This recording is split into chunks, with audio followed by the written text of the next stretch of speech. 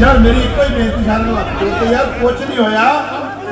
ਕਿ ਯਾਰ ਫੈਸਲੇ ਬੜੇ ਲੰਬੇ ਕਿਉਂ ਆਪਾਂ ਨੂੰ? ਕਾਲੇ ਪੈਂਦੇ ਆ, ਦੇਖੋ ਯਾਰ।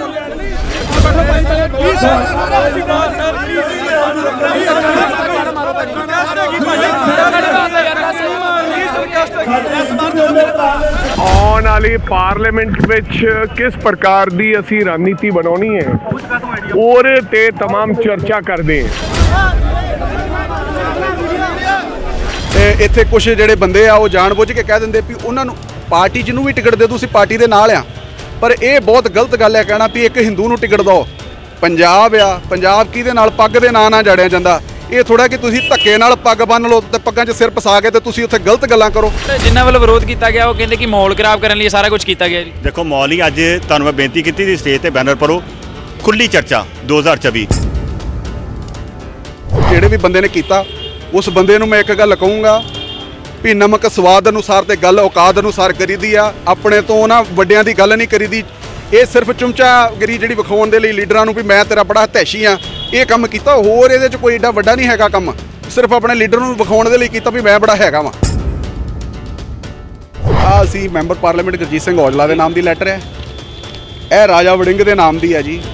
ਇਹਦੇ ਵਿੱਚ ਅਸੀਂ ਲਿਖਿਆ ਵੀ ਗੁਰੂ ਗ੍ਰੰਥ ਸਾਹਿਬ ਮਹਾਰਾਜ ਦੀ ਜਿਹੜੀ ਬੇਅਦਬੀ ਹੋਈ ਆ, ਬੜਾ ਲੰਮਾ ਸਮਾਂ ਹੋ ਗਿਆ, ਦੋਸ਼ੀਆਂ ਨੂੰ ਹੁਣ ਤੱਕ ਫੜਿਆ ਨਹੀਂ ਆ, ਨਾ ਹੀ ਇਨਸਾਫ ਮਿਲਿਆ, ਨਾ ਹੀ ਉਹ ਸਾਹਮਣੇ ਆਏ। ਲੋਕ ਸਭਾ 2024 ਚ ਆਪਣਾ ਗੱਠਜੋੜ ਚੱਲ ਰਿਹਾ ਜਾਂ ਗੱਠਜੋੜ ਦੀ ਜਿਹੜੀ ਗੱਲ ਚੱਲ ਰਹੀ ਹੈ ਉਹਨੂੰ ਮੈਂ ਬੇਨਤੀ ਕੀਤੀ, ਉਹਨੂੰ ਸਿਰੇ ਤੋਂ ਨਕਾਰਿਆ ਜਾਵੇ।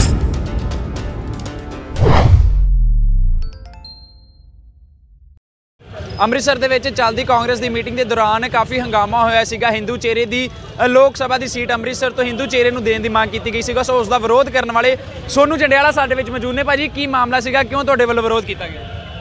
ਸਰ, ਮੇਰੇ ਵੱਲੋਂ ਨਹੀਂ, ਪੂਰਿਆਂ ਜਿੰਨੇ ਵੀ ਉੱਥੇ ਬੈਠੇ ਸੀਗੇ, ਸਾਰੇ ਵੀਰਾਂ ਵੱਲੋਂ ਵਿਰੋਧ ਕੀਤਾ ਗਿਆ। ਵਿਰੋਧ ਨਹੀਂ, ਇਤਰਾਜ਼ ਕੀਤਾ ਗਿਆ। ਕਾਰਨ ਕੀ ਆ ਕਿ ਸਾਡੇ ਪੰਜਾਬ ਦੇ ਪ੍ਰਭਾਰੀ ਦਵਿੰਦਰ ਯਾਦਵ ਜੀ ਆਏ ਸੀਗੇ। ਉਹਨਾਂ ਨੇ ਸਾਨੂੰ ਸਾਰਿਆਂ ਨੂੰ ਜਿੰਨੇ ਜਣੇ ਵੀ ਬੁਲਾਇਆ ਸੀਗਾ ਵੀ ਪਾਰਟੀ ਦੇ ਜੋ ਜੋ ਤੁਹਾਨੂੰ ਸਮੱਸਿਆ ਉਹਦੇ ਬਾਰੇ ਦੱਸੋ। ਅਸੀਂ ਆਏ ਸੀਗੇ, ਆਪਣੀ ਮੰਗ ਰੱਖੀ ਅਸੀਂ। ਸਾਨੂੰ ਇਹ ਸੀਗਾ, ਆ ਅਸੀਂ ਮੈਂਬਰ ਪਾਰਲੀਮੈਂਟ ਗੁਰਜੀਤ ਸਿੰਘ ਔਜਲਾ ਦੇ ਨਾਮ ਦੀ ਲੈਟਰ ਹੈ। ਇਹ ਰਾਜਾ ਵੜਿੰਗ ਦੇ ਨਾਮ ਦੀ ਹੈ ਜੀ। ਇਹਦੇ ਵਿੱਚ ਅਸੀਂ ਲਿਖਿਆ ਵੀ ਗੁਰੂ ਗ੍ਰੰਥ ਸਾਹਿਬ ਮਹਾਰਾਜ ਦੀ ਜਿਹੜੀ ਬੇਅਦਬੀ ਹੋਈ ਆ, ਬੜਾ ਲੰਮਾ ਸਮਾਂ ਹੋ ਗਿਆ। ਦੋਸ਼ੀਆਂ ਨੂੰ ਹੁਣ ਤੱਕ ਫੜਿਆ ਨਹੀਂ ਆ, ਨਾ ਹੀ ਇਨਸਾਫ ਮਿਲਿਆ, ਨਾ ਹੀ ਉਹ ਸਾਹਮਣੇ ਆਏ।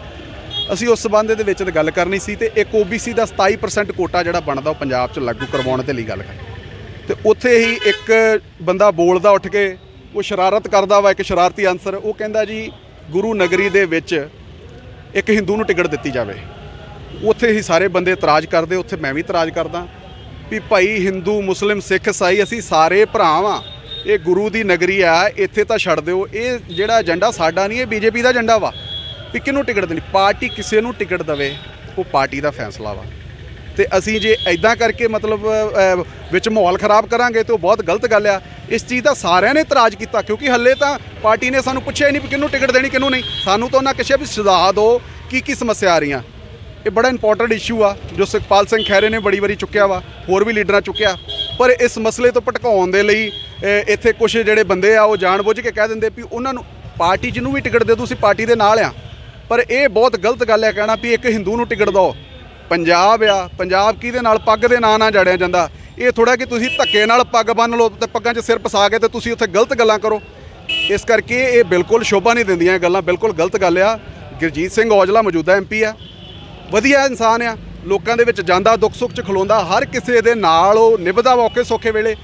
ਪਾਰਟੀ ਨੂੰ ਜੋ ਸਹੀ ਲੱਗਾ, ਪਾਰਟੀ ਸਰਵੇ ਕਰਾ ਕੇ ਜਿਹਨੂੰ ਟਿਕਟ ਦੇਣੀ ਕੋਈ ਗੱਲ ਨਹੀਂ, ਅਸੀਂ ਪਾਰਟੀ ਦੇ ਨਾਲ ਆ। ਪਰ ਇਹ ਗੱਲ ਕਰਨੀ ਉਹ ਵੀ ਉੱਥੇ ਸਾਰੇ ਜਣੇ ਬੈਠੇ ਹੁਣ ਕਿਸੇ ਨੂੰ ਨੀਚਾ ਵਿਖਾਉਣਾ ਇਹ ਬਹੁਤ ਮੰਦਭਾਗੀ ਗੱਲ ਹੈ ਬਹੁਤ ਦੁੱਖ ਲੱਗਾ। ਲੱਗਦਾ ਨਹੀਂ ਇਸ ਤਰ੍ਹਾਂ ਪਿੰਡਾਂ ਦੇ ਵਿੱਚ ਜਿਹੜੀ ਸਿੱਖ ਵੋਟ ਆ ਉੱਤੇ ਕਾਫੀ ਪ੍ਰਭਾਵ ਪਏਗਾ ਜੀ। ਵੇਖੋ ਸਿੱਖ ਸਮਾਜ ਦੇ ਵਿੱਚ ਤਾਂ ਰੋਸ ਹੋਣਾ ਹੀ ਹੋਣਾ ਜਦੋਂ ਤੁਸੀਂ ਮਤਲਬ ਧਰਮ ਦੀ ਰੰਗਤ ਦੇ ਦੋਗੇ ਜੋ ਤੁਸੀਂ ਇਹ ਗੱਲ ਕਹੋਗੇ ਵੀ ਇੱਕ ਹਿੰਦੂ ਨੂੰ ਟਿਕਟ ਦਿਓ ਤੇ ਸਿੱਖ ਗੁੱਸਾ ਨਹੀਂ ਕਰਨਗੇ। ਕਰਨਗੇ ਗੁੱਸਾ ਉਹ ਕਿਉਂਕਿ ਇੱਕ ਸਿੱਖ ਦੀ ਟਿਕਟ ਕੱਟ ਕੇ ਤੇ ਕਿਸੇ ਹਿੰਦੂ ਨੂੰ ਦੇ ਦੇਣੀ ਕਿੱਥੋਂ ਤੱਕ ਜਾਇਜ਼ ਆ ਟਿਕਟ ਮੰਗਣਾ ਹਰ ਕਿਸੇ ਦਾ ਹੱਕ ਆ ਤੇ ਉਹ ਪਾਰਟੀ ਨੇ ਫੈਸਲਾ ਕਰਨਾ ਕਿਹਨੂੰ ਦੇਣੀ ਆ ਪਰ ਇਹ ਥੋੜੀ ਤੁਸੀਂ ਜਿਹੜੇ ਕੰਮ ਲਈ ਬੁਲਾਇਆ ਉਹ ਕੰਮ ਕਰੋ ਤੁਸੀਂ ਆਣ ਕੇ ਉੱਥੇ ਪਬਲਿਸਿਟੀ ਦੇ ਲਈ ਕੁਝ ਵੀ ਸਟੰਟ ਕਰ ਦਿਓ ਇਹ ਬਿਲਕੁਲ ਮੰਦਭਾਗੀ ਗੱਲ ਆ। ਮੈਂ ਇਹਦੇ ਨਾਲ ਬਿਲਕੁਲ ਇਹਨਾਂ ਦੇ ਸਹਿਮਤ ਨਹੀਂ ਆ ਜਿਹੜੇ ਵੀ ਬੰਦੇ ਨੇ ਕੀਤਾ। ਉਸ ਬੰਦੇ ਨੂੰ ਮੈਂ ਇੱਕ ਗੱਲ ਕਹੂੰਗਾ ਵੀ ਨਮਕ ਸਵਾਦ ਅਨੁਸਾਰ ਤੇ ਗੱਲ ਔਕਾਤ ਅਨੁਸਾਰ ਕਰੀਦੀ ਆ। ਆਪਣੇ ਤੋਂ ਨਾ ਵੱਡਿਆਂ ਦੀ ਗੱਲ ਨਹੀਂ ਕਰੀਦੀ। ਇਹ ਸਿਰਫ ਚੁੰਚਾ ਗਰੀ ਜਿਹੜੀ ਵਿਖਾਉਣ ਦੇ ਲਈ ਲੀਡਰਾਂ ਨੂੰ ਵੀ ਮੈਂ ਤੇਰਾ ਬੜਾ ਹਤੈਸ਼ੀ ਆ। ਇਹ ਕੰਮ ਕੀਤਾ ਹੋਰ ਇਹਦੇ 'ਚ ਕੋਈ ਏਡਾ ਵੱਡਾ ਨਹੀਂ ਹੈਗਾ ਕੰਮ। ਸਿਰਫ ਆਪਣੇ ਲੀਡਰ ਨੂੰ ਵਿਖਾਉਣ ਦੇ ਲਈ ਕੀਤਾ ਵੀ ਮੈਂ ਬੜਾ ਹੈਗਾ ਵਾਂ। ਮਤਲਬ ਤੁਸੀਂ ਚ- ਕਹਿਣਾ ਚਾਹੁੰਦੇ ਹੋ ਕਿ ਧਰਮ ਦੇ ਨਾਂ ਤੇ ਵੋਟ ਮੰਗਣੀ ਹੈ ਧਰਮ ਦੇ ਨਾਂ ਤੇ ਸਿਆਸਤ ਕਰਨੀ ਕਾਫੀ ਅ, ਜਿਹੜੀ ਸਿੱਖਾਂ ਦੇ ਮਨਾਂ ਵਿੱਚ ਰੋਸ ਹੋ ਸਕਦੀ ਹੈ ਜਿਵੇਂ ਇਹਨਾਂ ਨੇ ਕਿਹਾ ਕਿ ਹਿੰਦੂ ਚਿਹਰੇ ਨੂੰ ਦੇਣੀ ਚਾਹੀਦੀ ਹੈ ਸੀ ਭਾਜੀ ਤੁਸੀਂ ਗੁਰੂ ਰਾਮਦਾਸ ਮਹਾਰਾਜ ਦੇ ਘਰ ਜਾਂਦੇ ਹੋ ਚਾਰ ਦਰਵਾਜ਼ੇ ਆ ਉੱਥੇ। ਅਸੀਂ ਅੰਮ੍ਰਿਤਸਰ ਦੇ ਵਿੱਚ ਕਦੀ ਵੀ ਕਿਸੇ ਨੇ ਨਹੀਂ ਵੇਖਿਆ। ਹਿੰਦੂ, ਮੁਸਲਿਮ, ਸਿੱਖ ਇਸਾਈ ਸਾਰੇ ਭਰਾਵਾਂ। ਤੁਸੀਂ ਗੱਲ ਕਰੋ, ਅੱਜ ਦਲਿਤਾਂ ਦੇ ਨਾਲ ਧੱਕਾ ਹੋ ਰਿਹਾ ਓਬੀਸੀ ਦੇ ਨਾਲ ਧੱਕਾ ਹੋ ਰਿਹਾ, ਕਿਸਾਨਾਂ ਨਾਲ ਧੱਕਾ ਹੋ ਰਿਹਾ, ਉਹ ਡਰਾਈਵਰਾਂ ਤੇ ਕਾਨੂੰਨ ਲਾਗੂ ਕਰਤੇ ਆ। ਤੁਸੀਂ ਉਹਨਾਂ ਤੇ ਬੋਲੋ ਯਾਰ, ਜਿਹੜਾ ਕੰਮ ਕਰਨਾ ਹੈ ਜੇ ਪੰਜਾਬ ਛੱਡ ਛੱਡ ਵਿਦੇਸ਼ਾਂ 'ਚ ਲੋਕੀ ਜਾਂਦੇ, ਉਹਨਾਂ ਤੇ ਬੋਲੋ। ਤੇ ਤੁਸੀਂ ਕੀ ਕਹਿੰਦੇ ਟਿਕਟਾਂ ਦੇ ਦਿਓ ਜੀ, ਟਿਕਟਾਂ ਫਿਰ ਜਿੱਤ ਲੋਗੇ ਤੁਸੀਂ? ਕਿੱਦਾਂ ਜਿੱਤ ਲੋਗੇ ਲੋਕਾਂ ਨੂੰ ਮਤਲਬ ਆਸ ਖਾ ਕੇ? ਜੇ ਕਿ ਸਿੱਖ ਦੀ ਟਿਕਟ ਕੱਟ ਕੇ ਹਿੰਦੂ ਨੂੰ ਦੋਗੇ ਤੇ ਉਹ ਫਿਰ ਸਿੱਖ ਕਿੱਦਾਂ ਤੁਹਾਡੇ ਨਾਲ ਤੁਰਨਗੇ ਦੱਸੋ ਮੈਨੂੰ। ਕਿ ਮਤਲਬ ਮਾਹੌਲ ਖਰਾਬ ਕਰਨਾ ਬਿਲਕੁਲ ਮਾਹੌਲ ਖਰਾਬ ਕਰਨ ਡਿਆ ਜੀ ਪਾੜ ਪਵਾਉਣ ਡਿਆ ਦੋ ਵਿਤਕਰਿਆਂ ਦੇ ਵਿੱਚ। ਇਹ ਬਿਲਕੁਲ ਗਲਤ ਗੱਲ ਹੈ ਚੰਗੀ ਗੱਲ ਨਹੀਂ ਹੈਗੀ। ਤੇ ਮੈਂ ਇਸ ਗੱਲ ਦਾ ਬਿਲਕੁਲ ਖੰਡਨ ਕਰਦਾ ਇਹਨਾਂ ਦਾ। ਔਜਲਾ ਸਾਹਿਬ ਬਹੁਤ ਵਧੀਆ ਸਤਿਕਾਰਯੋਗ ਆ ਸਾਰੇ ਦੂਜੇ ਲੀਡਰ ਵੀ ਸਤਿਕਾਰਯੋਗ ਆ। ਪਾਰਟੀ ਜਿਹਨੂੰ ਟਿਕਟ ਦਊਗੀ ਅਸੀਂ ਪਾਰਟੀ ਦੇ ਫੈਸਲੇ ਨਾਲ ਮਨਜ਼ੂਰ ਪਰ ਪਹਿਲਾਂ ਹੀ ਇਹੋ ਜਿਹੀਆਂ ਭਵਿੱਖਬਾਣੀਆਂ ਕਰਨੀਆਂ ਇਹ ਕੋਈ ਚੰਗੀ ਗੱਲ ਨਹੀਂ ਹੈਗੀ। ਇਹ ਮੰਦਬੁੱਧੀ ਬੱਚਿਆਂ ਵਾਲਾ ਕੰਮ ਆ ਇਹ ਸਿਆਣਪ ਨਹੀਂ ਹੈਗੀ ਕੋਈ। ਸੋ ਬਿਲਕੁਲ ਕਹਿ ਸਕਦੇ ਹਾਂ ਕਿ ਮੀਟਿੰਗ ਚੱਲਦੇ ਦੌਰਾਨ ਜਿਹੜਾ ਹੰਗਾਮਾ ਹੁੰਦਾ ਹੈ, ਉਸ ਦਾ ਜਿਹੜਾ ਚਿੱਟਾ ਚਿਹਰਾ ਸਾਨੂੰ ਦੇਖਣ ਨੂੰ ਮਿਲਿਆ ਕਿ ਇੱਕ ਹਿੰਦੂ ਚਿਹਰੇ ਦੀ ਮੰਗ ਕੀਤੀ ਗਈ ਹੈ ਅੰਮ੍ਰਿਤਸਰ ਤੋਂ ਲੋਕ ਸਭਾ ਦੀ, ਪਰ ਜੇ ਹੁਣ ਗੱਲ ਕਰੀਏ ਤਾਂ ਜਿਵੇਂ ਐਮਪੀ ਗੁਰਜੀਤ ਔਜਲਾ ਉੱਥੇ ਮੌਜੂਦ ਨੇ, ਦਵਿੰਦਰ ਯਾਦਵ, ਸੂਬਾ ਪ੍ਰਧਾਨ, ਰਾਜਾ ਵੜਿੰਗ ਜਾਂ ਹੋਰ ਜੇ ਗੱਲ ਕਰ ਲਈਏ ਤਾਂ ਪ੍ਰਤਾਪ ਬਾਜਵਾ ਵੀ ਇੱਥੇ ਮੌਜੂਦ ਨੇ, ਪਰ ਇਸ ਤਰੀਕੇ ਨਾਲ ਜੇਕਰ ਸੱਚ ਦੇ ਵਿੱਚ ਮਾਹੌਲ ਖਰਾਬ ਕੀਤਾ ਜਾ ਰਿਹਾ, ਕਿਉਂਕਿ ਧਰਮ ਦੇ ਨਾਂ ਤੇ ਇਸ ਤਰੀਕੇ ਨਾਲ ਜੇ ਅਗਰ ਹਿੰਦੂ ਚਿਹਰੇ ਦੀ ਮੰਗ ਕੀਤੀ ਜਾਵੇ ਤਾਂ ਕਹਿ ਸਕਦੇ ਹਾਂ ਕਿ ਸਿੱਖਾਂ ਦੇ ਮਨਾਂ ਦੇ ਵਿੱਚ ਕਾਫੀ ਰੋਸ ਹੋ ਸਕਦਾ ਕਿ ਹਿੰਦੂ ਚਿਹਰੇ ਦੀ ਮੰਗ ਕੀਤੀ ਗਈ ਹੈ ਤਾਂ ਸਿੱਖਾਂ ਦੇ ਮਨਾਂ ਦੇ ਵਿੱਚ ਇਹ ਰੋਸ ਜਾਂ ਪਿੰਡਾਂ ਦੇ ਵਿੱਚੋਂ ਜਿਹੜੀ ਸਿੱਖ ਵੋਟ ਹੈ ਉਹ ਖਤਮ ਹੋ ਸਕਦੀ। ਸੋ ਅੰਮ੍ਰਿਤਸਰ ਦੇ ਵਿੱਚ ਜਿਹੜੀ ਕਿ ਕਾਂਗਰਸ ਦੀ ਲੋਕ ਸਭਾ ਨੂੰ ਲੈ ਕੇ ਮੀਟਿੰਗ ਚੱਲ ਰਹੀ ਸੀਗਾ, ਉਸ ਦੇ ਵਿੱਚ ਕੌਂਸਲਰ ਪਰਮਜੀਤ ਚੋਪੜਾ ਵੱਲੋਂ ਇੱਕ ਮੰਗ ਰੱਖੀ ਗਈ ਹੈ ਕਿ ਜਿਹੜੀ ਅੰਮ੍ਰਿਤਸਰ ਤੋਂ ਲੋਕ ਸਭਾ ਦੀ ਚੀ- ਜਿਹੜੀ ਸੀਟ ਹੈ, ਉਹ ਹਿੰਦੂ ਚਿਹਰੇ ਨੂੰ ਮਿਲਣੀ ਚਾਹੀਦੀ ਹੈ। ਸੋ ਕਾਫੀ ਵਿਰੋਧ ਹੋਇਆ, ਉਸ ਦਾ ਵਿਰੋਧ ਜਿਨ੍ਹਾਂ ਨੇ ਕੀਤਾ, ਉਹਨਾਂ ਨਾਲ ਵੀ ਗੱਲਬਾਤ ਕੀਤੀ ਹੈ। ਸੋ ਜਿਨ੍ਹਾਂ ਵੱਲੋਂ ਇਹ ਮੰਗ ਰੱਖੀ ਗਈ ਹੈ ਪਰਮਜੀਤ ਸਿੰਘ ਚੋਪੜਾ ਸਾਡੇ ਨਾਲ ਮੌਜੂਦ ਨੇ। ਕੌਂਸਲਰ ਕੀ ਮੰਗ ਸੀਗੀ? ਸੋ ਕਿਉਂ ਵਿਰੋਧ ਕੀਤਾ ਗਿਆ ਜੀ ਤੁਹਾਡਾ?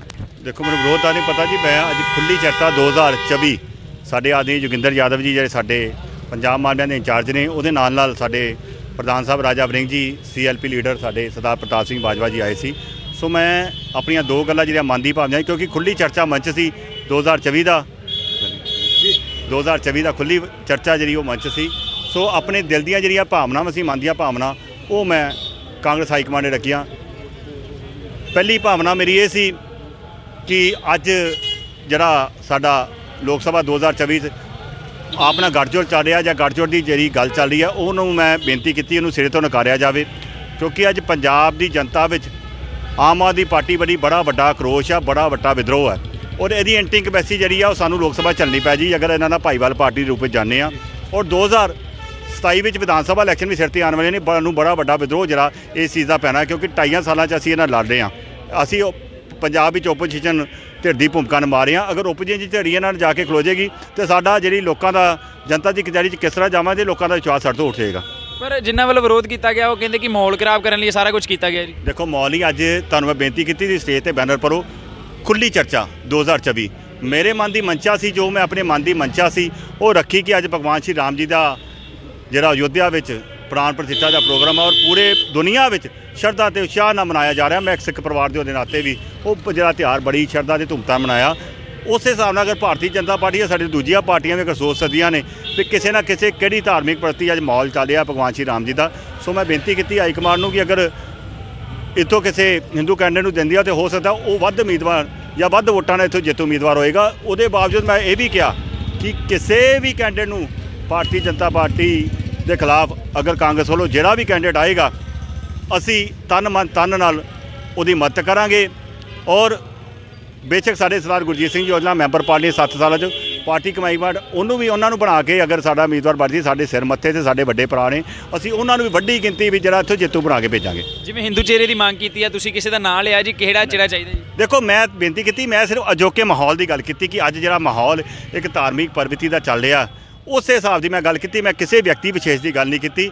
ਮੈਂ ਸਿਰਫ ਬੇਨਤੀ ਕੀਤੀ ਕਿਸੇ ਵੀ ਚਿਹਰੇ ਨੂੰ ਟਿਕਟ ਦੇ ਦਿੱਤੀ ਪਰ ਜਾਵੇ ਲੱਗਦਾ ਨਹੀਂ ਇਸ ਤਰੀਕੇ ਨਾਲ ਹਿੰਦੂ ਚਿਹਰੇ ਦੀ ਜਿਵੇਂ ਮੰਗ ਕੀਤੀ ਹੈ ਪਿੰਡਾਂ ਦੇ ਵਿੱਚ ਜਿਹੜੀ ਸਿੱਖ ਵੋਟ ਆ ਉੱਤੇ ਕਾਫੀ ਪ੍ਰਭਾਵ ਪਏਗਾ। ਕਾਫੀ ਜ਼ਿਆਦਾ ਸਿੱਖ ਵੋਟ ਆ ਜੀ ਪਿੰਡਾਂ ਦੇ ਵਿੱਚ। ਦੇਖੋ ਮੈਂ ਬੇਨਤੀ ਕੀਤੀ ਕਿ ਅੱਜ ਮੈਂ ਜਿਵੇਂ ਗੱਲ ਕੀਤੀ ਆ ਕਿ ਜਿਹਨੇ ਮੈਂ ਆਪਣੀ ਗੱਲ ਹੀ ਕੀਤੀ ਕਿ ਭਗਵਾਨ ਸ਼੍ਰੀ ਰਾਮ ਜੀ ਦਾ ਜਿਹੜਾ ਅਯੁੱਧਿਆ ਦਾ ਪ੍ਰੋਗਰਾਮ ਹੈ ਉਹ ਹੋ ਸਕਦਾ ਕਿ ਇਹ ਪ੍ਰੋਗਰਾਮ ਜਿਹੜਾ ਕਿਸੇ ਹਿੰਦੂ ਵਿਅਕਤੀ ਨੇ ਉਸ ਤਰ੍ਹਾਂ ਤਰੀਕੇ ਨਾਲ ਨਾ ਮਨਾਵੇ ਜਿੰਨੀ ਸ਼ਰਧਾ ਤੇ ਉਤਸ਼ਾਹ ਨਾਲ ਅਸੀਂ ਮਨਾਇਆ ਔਰ ਜਿਹੜੀ ਭਗਵਾਨ ਸ਼੍ਰੀ ਰਾਮ ਜੀ ਦਾ ਪ੍ਰਾਨ ਪ੍ਰਤਿਸ਼ਠਾ ਦਾ ਪ੍ਰੋਗਰਾਮ ਸੀ ਉਹ ਜਿੰਨਾ ਹਿੰਦੂਆਂ ਨੇ ਮਨਾਇਆ ਉਹਨਾਂ ਹੀ ਸਿੱਖਾਂ ਨੇ। ਸੋ ਅੱਜ ਹਿੰਦੂ ਸਿੱਖ ਦੀ ਉਸ ਦੀ ਕੋਈ ਗੱਲ ਨਹੀਂ ਪਰ ਅੱਜ ਜਿਹੜਾ ਅਜੋਕਾ ਮਾਹੌਲ ਬਣਿਆ ਸੀ ਮੈਂ ਸਿਰਫ ਉਹਦੀ ਗੱਲ ਕੀਤੀ ਕਿ ਉਹਦੇ ਹਿਸਾਬ ਸਿਰ ਜਿਹੜੀ ਟਿਕਟ ਦਿੱਤੀ ਜਾਵੇ। ਫਿਰ ਵੀ ਜੇ ਗੱਲ ਕਰਦੇ ਆ ਜਿਸ ਤਰੀਕੇ ਨਾਲ ਹਿੰਦੂ ਚਿਹਰੇ ਦੀ ਮੰਗ ਕੀਤੀ ਹੈ ਲੱਗਦਾ ਇਹਦੇ ਸਿੱਖਾਂ ਦੇ ਮਨਾਂ ਨੂੰ ਠੇਸ ਪਹੁੰਚ ਸਕਦੀ ਹੈ ਜੀ? ਨਹੀਂ ਸਿੱਖਾਂ ਦੇ ਮਨਾਂ ਨੂੰ ਠੇਸ ਸੀ ਤੇ ਤਦ ਤਦ ਗੱਲ ਹੋਈ ਹੈ ਕਿ ਫੈਸਲਾ ਹਾਈ ਕਮਾਂਡ ਨੇ ਕਰਦਾ।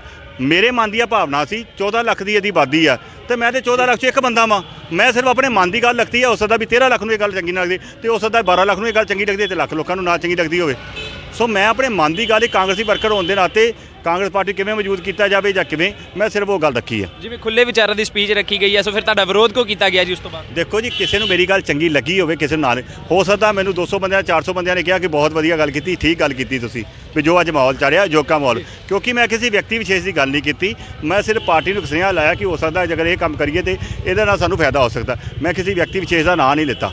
ਉਹਦੇ ਬਾਵਜੂਦ ਇਹ ਵੀ ਕਿਹਾ ਕਿ ਅਗਰ ਸਾਡੇ ਮੈਂਬਰ ਪਾਰਲੀਮੈਂਟ ਦੁਆਰਾ ਜਿਹੜੇ ਮੌਜੂਦਾ ਨੇ ਉਹ ਵੀ ਲੜਨਗੇ ਸੀ ਜਿਹਦੇ ਨਾਲ ਖਲੋਤੇ ਆ ਤਨ ਮਨ ਧਨ ਨਾਲ। ਪਰ ਜਿਵੇਂ ਤੁਸੀਂ ਗੱਲ ਕੀਤੀ ਮੰਗ ਰੱਖੀ ਆ ਵੱਡੇ ਲੀਡਰਾਂ ਨਾਲ ਕੋਈ ਗੱਲ ਹੋਈ ਹੈ ਜੀ? ਉਹਨਾਂ ਦਾ ਕੀ ਵਿਚਾਰ ਹੈ ਇੱਥੇ? ਨਹੀਂ ਜੀ ਮੇਰੀ ਕਿਸੇ ਲੀਡਰ ਨਾਲ ਕੋਈ ਗੱਲ ਨਹੀਂ ਹੈ। ਗੱਲ ਹੈ ਵੀ ਅੱਜ ਖੁੱਲੀ ਚਰਚਾ ਸੀ ਲੋਕਾਂ ਦੀ ਰਾਏ ਵਰਕਰਾਂ ਦੀ ਰਾਏ। ਅੱਜ ਮੈਂ ਜਿਹੜੀ ਆਪਣੀ ਰਾਏ ਸਿਰਫ ਹਾਈ ਕਮਾਂਡ ਨੂੰ ਦਿੱਤੀ ਹੈ ਉਹਨਾਂ ਨੇ ਨੋਟ ਕਰ ਲਈ ਹੈ। ਫੈਸਲਾ ਉਹਨਾਂ ਨੇ ਕਰਨਾ ਟਿਕਟਾਂ ਦੇਣ ਨਹੀਂ ਆਏ ਸਿਰਫ ਅੱਜ ਲੋਕਾਂ ਦੀ ਕਚਹਿਰੀ ਵਿੱਚ ਅੱਜ ਵਰਕਰਾਂ ਦੀ ਕਚਹਿਰੀ ਵਿੱਚ ਸਿਰਫ ਉਹਨਾਂ ਦੇ ਵਿਚਾਰ ਸੁਣਨ ਆਏ ਸੀ। ਜਿਨ੍ਹਾਂ ਵੱਲੋਂ ਵਿਰੋਧ ਕੀਤਾ ਗਿਆ ਸੀਗਾ ਉਹ ਕਹਿੰਦੇ ਕਿ ਇਹ ਜਿਹੜਾ ਚਿਹਰਾ ਮੰਗਣਾ ਸਿੱਖ ਦਾ ਮੰਗਣਾ ਜਾਂ ਹਿੰਦੂ ਦਾ ਚਿਹਰਾ ਮੰਗਣਾ ਇਹ ਬੀਜੇਪੀ ਦਾ ਏਜੰਡਾ ਸੋ ਸਾਡੀ ਪਾਰਟੀ 'ਚ ਤਾਂ ਕਿਉਂ ਹੈਗਾ ਹੀ ਨਹੀਂ ਇਹ ਮੁੱਦਾ ਕਿਉਂਕਿ ਇਹ ਤਾਂ ਹਾਈ ਕਮਾਂਡ ਦੇ ਹੱਥ ਹੈ। ਦੇਖੋ ਜੀ ਮੈਂ ਸਿਰਫ ਬੇਨਤੀ ਕੀਤੀ ਆ ਕਿ ਅੱਜ ਮਾਹੌਲ ਇੱਕ ਇਸ ਤਰ੍ਹਾਂ ਦਾ ਧਾਰਮਿਕ ਪ੍ਰਵਿਰਤੀ ਦਾ ਬਣਿਆ ਔਰ ਅੰਮ੍ਰਿਤਸਰ 'ਚ ਵੀ ਬਣਿਆ। ਅੱਜ ਅੰਮ੍ਰਿਤਸਰ ਦਾ ਕੋਈ ਮਹੱਲਾ ਕੋਈ ਕੁਛ ਨਹੀਂ ਜਿਹੜਾ ਪ੍ਰਾਣ ਪ੍ਰਤਿਸ਼ਠਾ ਦੇ ਨਾਂ ਤੇ ਨਾਂ ਸੱਜਿਆ ਹੋਵੇ ਜਰੀ ਸੋ ਮੈਂ ਮਾਹੌਲ ਦੀ ਅਗਰ ਕੋਈ ਵੀ ਪਾਰਟੀ ਕਿਸੇ ਤਰ੍ਹਾਂ ਦੀ ਕੋਈ ਵੀ ਪਾਰਟੀ ਅਗਰ ਅੱਜ ਦੇ ਮਾਹੌਲ ਨੂੰ ਪੁਣਿਆਣਾ ਚਾਹੁੰਦੀ ਹੈ ਜਾਂ ਉਹਨੂੰ ਉਹਦਾ ਇਹ ਵਿੱਚ ਉਹਦਾ ਆਪਣਾ ਵਾਧਾ ਲੈਣਾ ਚਾਹੁੰਦੀ ਹੈ ਤੇ ਕਾਂਗਰਸ ਪਾਰਟੀ ਕਿਉਂ ਨਹੀਂ ਲੈ ਸਕਦੀ? ਮੈਂ ਆਪਣੀ ਗੱਲ ਦਿਲ ਦੀ ਗੱਲ ਰੱਖੀ ਹੈ। ਕਰਨਾ ਨਾ ਕਰਨਾ ਹਾਈ ਕਮਾਂਡ ਦੇ ਬਸ ਦੀ ਹੈ ਫੈਸਲਾ ਲੈਣਾ ਉਹਨਾਂ ਨੇ। ਜੀ। ਤਾਂ ਕਹਿ ਸਕਦੇ ਹਾਂ ਕਿ ਜਿਸ ਤਰੀਕੇ ਨਾਲ ਤਾਂ ਵਿਰੋਧ ਕੀਤਾ ਗਿਆ ਜਾਂ ਉਸ ਤੋਂ ਬਾਅਦ ਜੇ ਗੱਲ ਕਰ ਲਈਏ ਅ, ਜਿਨ੍ਹਾਂ ਵੱਲੋਂ ਇਹ ਮੰਗ ਰੱਖੀ ਗਈ ਜਿਵੇਂ ਹਿੰਦੂ ਚਿਹਰੇ ਦੀ ਮੰਗ ਰੱਖੀ ਗਈ ਅੰਮ੍ਰਿਤਸਰ ਤੋਂ ਲੋਕ ਸਭਾ ਦੀ ਸੀਟ ਲਈ ਦੀ। ਸੋ ਕਹਿ ਸਕਦੇ ਹਾਂ ਕਿ ਸਿੱਖਾਂ ਦੇ ਮਨਾਂ ਨੂੰ ਠੇਸ ਜ਼ਰੂਰ ਪਹੁੰਚ ਸਕਦੀ ਹੈ ਜਾਂ ਪਿੰਡਾਂ ਦੇ ਵਿੱਚ ਜਿਹੜੇ ਸਿੱਖ ਵੋਟ ਨੇ ਕਿਉਂਕਿ ਕਾਫੀ ਵੋਟ ਜਿਹੜੀ ਪਿੰਡ ਦੇ ਵਿੱਚ ਸਿੱਖ ਵੋਟ ਹੈਗੀ ਆ ਸੋ ਉਸ ਤੇ ਕਾਫੀ ਪ੍ਰਭਾਵ ਪੈ ਸਕਦਾ ਵਾ। ਸੋ ਆਉਣ ਵਾਲੇ ਸਮੇਂ ਦੇ ਵਿੱਚ ਦੇਖਣਾ ਹੋਏਗਾ।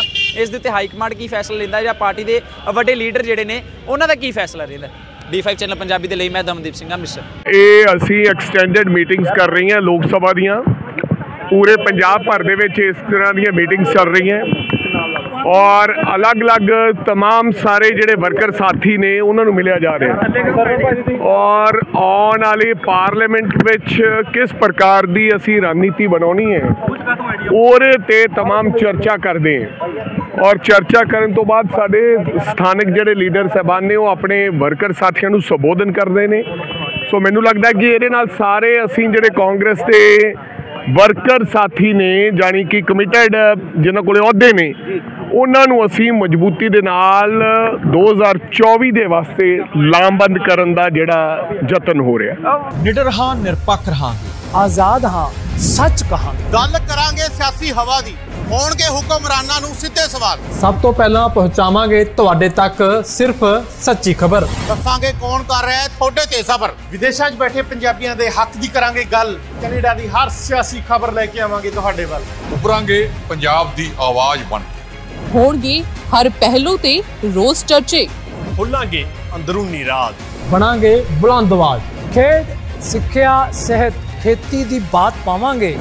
ਹਰ ਪਿੰਡ ਹਰ ਸ਼ਹਿਰ ਜਾਵਾਂਗੇ ਮਨੋਰੰਜਨ ਨਾਲ ਜੁੜੇ ਕਲਾਕਾਰਾਂ ਨਾਲ ਕਰਵਾਵਾਂਗੇ ਮੁਲਾਕਾਤ ਸੰਘਰਸ਼ਾਂ ਵਾਲੀ ਜ਼ਿੰਦਗੀ ਤੇ ਮਾਰਾਂਗੇ ਝਾਤ ਕੀ ਨੇ ਸਾਡੇ ਕਾਨੂੰਨ ਫਰਜ਼ ਤੇ ਅਧਿਕਾਰ ਕੀ ਕਰਦੀ ਹੈ ਸਾਡੀ ਸਰਕਾਰ ਕੀ ਹੈ ਤੁਹਾਡੀ ਮੁਸ਼ਕਲ ਦਾ ਹੱਲ D5 ਚੈਨਲ ਪੰਜਾਬੀ ਦੀ ਕਚਹਿਰੀ 'ਚ ਹੋਵੇਗੀ ਸਿਰਫ ਲੋਕਾਂ ਦੀ ਗੱਲ धर्म धरोहर सेहत और संस्कृति की होगी बात अब D5 ਚੈਨਲ ਹਿੰਦੀ ਵੀ ਹੋਗਾ ਸਰ D5 ਚੈਨਲ ਪੰਜਾਬੀ ਆਪਣੀ ਧਰਤੀ ਆਪਣੇ ਲੋਕ ਸਤਿ ਸ਼੍ਰੀ ਅਕਾਲ ਜੀ, ਮੈਂ ਹਾਂ ਕੁਲਰਾਜ ਰੰਦਾਵਾ ਤੇ ਤੁਸੀਂ ਵੇਖ ਰਹੇ ਹੋ D5 ਚੈਨਲ ਪੰਜਾਬੀ, ਜਿਹੜਾ ਲਾਂਚ ਹੋ ਚੁੱਕਾ ਹੈ ਹੁਣ ਕੈਨੇਡਾ ਵਿੱਚ।